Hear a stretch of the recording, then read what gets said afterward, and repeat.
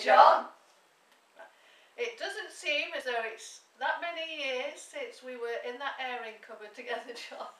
Have a lovely 60th birthday from your very young cousin who's still in her 50s. Happy birthday, John. Here am I, the oldest pensioner, or not quite, with mother sat next to me. But have a lovely day and keep up the climbing and keep on taking the tablets. John, it doesn't seem that long ago since you and Penny were sat in the pram and Penny used to scratch your face. Poor soul. Happy birthday, love. Well, there's not a lot more I can say after all that. Happy birthday, you old fart, and I hope you're okay. and have a lovely weekend.